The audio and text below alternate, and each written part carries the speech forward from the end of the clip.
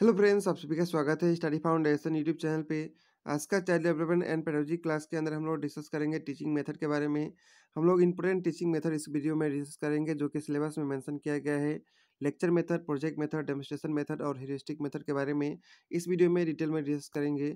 ये class number twenty five है, इससे पहले क्लास आप सभी को डिस्क्रिप्शन बॉक्स में या फिर प्लेलिस्ट में मिल जाएगा।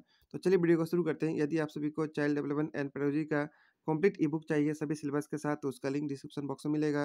वीडियो को शुरू करते हैं। सबसे पहले डिस्कस करेंगे टीचिंग मेथड के बारे में। टीचिंग मेथड सेटअप प्रिंसिपल को बिलीफ को आइडिया को कहा जाता है। About the nature of learning which is translated into the classroom teaching method में be defined as the devices और tools used to create learning situation in which effective communication can take place between teacher and learners. Teaching method is the stimulation, guidance, direction and encouragement for learning इसके बाद important teaching method को discuss करेंगे। सबसे पहला method का नाम है lecture method ये जो है सबसे ओल्ड और ट्रेडिशनल मेथड है। इसको चौक एंड टॉक मेथड कहा जाता है। In this method teacher delivered lecture on defined point of a topic without taking help of notes इस मेथड के अंदर टीचर जो है लेक्चर डिलीवर करता है। डिफरेंट पॉइंट के ऊपर बिना नोट्स का हेल्प लिए हुए। And in order to concentrate the attention of his student he ask question several time in the middle the lecture of the pupils is so logical systematic and attractive that the whole lesson became clear to pupils in no time. Examples are given during lecture to clarify difficult concept example बीच बीच में दिया जाता है difficult concept को एजी करने के लिए। This is easy and effective method to introduce a lesson ये जो है सबसे एजी और इफ़ेक्टिव मेथड है लेसन को इंट्रोड्यूस करने के लिए and to complete a lesson in minimum period of time this is against the principle of learning by doing ये जो है लर्निंग बाय डूइंग प्रिंसिपल का अगेंस्ट मेथड है। इसके अंदर लिसनिंग स्किल डेवलप होता है, टाइम सेव होता है, इकोनॉमिकल और बहुत ज़्यादा यूज़ मेथड, लेक्चर मेथड को ही कहा जाता है। इसके बाद नेक्स्ट मेथड डिस्कस करेंगे, project method. The project method is one of the modern method based on experience centre teaching, in which curriculum and content of the study are based on life situation through achieving the objective of cognitive, effective and psychomotor skill. Project method जो है modern method है, ये जो है experience centre method है, इसके अंदर तीनों लर्निंग का डोमेन का यूज़ किया जाता है कॉग्निटिव इफ़ेक्टिव और साइकोमोटर स्किल का। This method is based on the philosophy of pragmatism and the principle of learning by doing ये जो है प्रैग्मेटिक फिलोसफी पे बेस है और principle of learning by doing के ऊपर बेस है।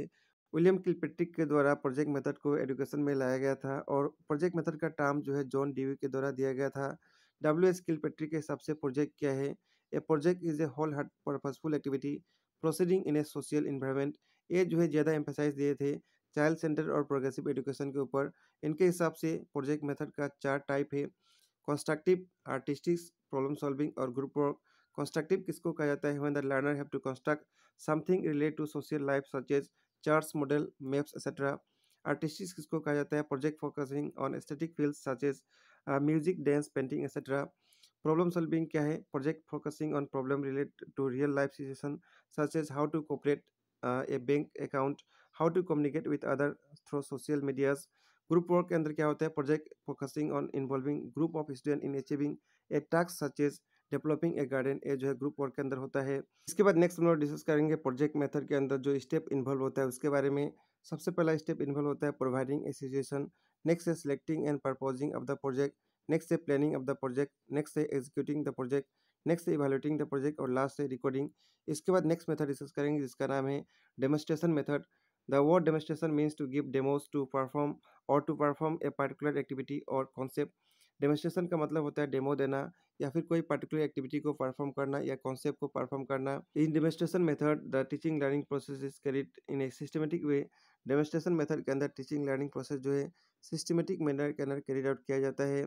Demonstration of an occurs when student have a hard time connecting theory to actual practice or when students are unable to understand application of theory जब कोई theory है student समझ नहीं पाता है, उस समय डेमोस्ट्रेशन मेथड का यूज़ किया जाता है। ये जो है टीचर सेंटर मेथड है। इसके अंदर छः स्टेप फॉलोड होता है। प्लानिंग एंड प्रिपरेशन सबसे पहला स्टेप है।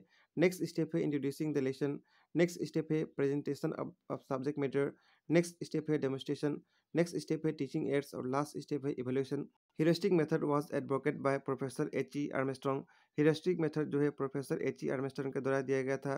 हिरोस्टिक का मतलब होता है टू फाइंड आउट इसको इंक्वायरी मेथड भी कहा जाता है। According to professor Henry Edward Armstrong who introduce this method for teaching science heuristic method is a method of teaching which involve our placing of children as far as possible in the attitude of discover in this method the student has to find out the answer to his or her own problem by unaided effort. Thus, the child become a discoverer of knowledge by developing a speech of inquiry. The main aim of teaching by this method is not to provide many facts about science, mathematics, grammar, etc., but to teach how knowledge of this can be obtained. Is self learning approach to learning इसको learning approach of learning भी कहा जाता है इसके अंदर जो है कुछ स्टेप फॉलो होता है, जैसे कि सबसे पहला स्टेप है identification of a problem, next step है experimentation and observation, next step है प्रॉब्लम सॉल्विंग और लास्ट स्टेप है इवोल्यूशन। तो ये सब था इंपॉर्टेंट मेथड के बारे में जो कि सिलेबस के अंदर आप सभी का मेंशन किया गया था। इसके अंदर हम लोग डिस्कस किए हैं lecture method, project method, demonstration method और हिस्ट्रिक मेथड के बारे में। इसके बाद नेक्स्ट हम लोग प्रीवियस क्वेश्चन सॉल्व करेंगे जो इस टॉपिक से आ चुका है। आज का टॉपिक का सबसे पहला क्वेश्चन है to concretise the abstract concept in slow learner classroom the best method for a teacher slow learner को सिखाने के लिए इन चारों ऑप्शन में से कौन सा अच्छा मेथड होगा? लेक्चर मेथड तो नहीं होगा होम असाइनमेंट भी नहीं होगा डिस्कशन मेथड भी नहीं होगा। बच्चा option number D demonstration method इसके बारे में अभी हम लोग डिस्कस किए थे। ये सबसे अच्छा मेथड है स्लो लर्नर को सिखाने के लिए। इसलिए सही आंसर होगा ऑप्शन नंबर डी इसको डी कर लीजिए। इसके बाद नेक्स्ट क्वेश्चन है in project method teaching project method के अंदर टीचर का रोल क्या होता है? टीचर का रोल, फ्रेंड, फिलोसोफर और गाइड क्या होता है प्रोजेक्ट मेथड के अंदर। तो सही आंसर होगा ऑप्शन नंबर सी। इसके बाद नेक्स्ट क्वेश्चन है, lecture method of teaching is a, lecture method of teaching कैसा टीचिंग है? टीचर सेंट्रिक टीचिंग है। तो सही आंसर होगा ऑप्शन नंबर ए। इसके बाद नेक्स्ट क्वेश्चन है, to make lecture method effective among slow learner, a teacher should be. Slow learner classroom के अंदर लेक्चर मेथड को इफ़ेक्टिव करने के लिए टीचर को क्या करना चाहिए? Should not use voice modulation A option गलत है। वॉइस मॉडुलेशन का यूज़ करना चाहिए। Should use blackboard sufficiently blackboard का सफिशियंट यूज़ करना चाहिए, ये ऑप्शन हो सकता है। Should use minimum teaching aids and maximum talk.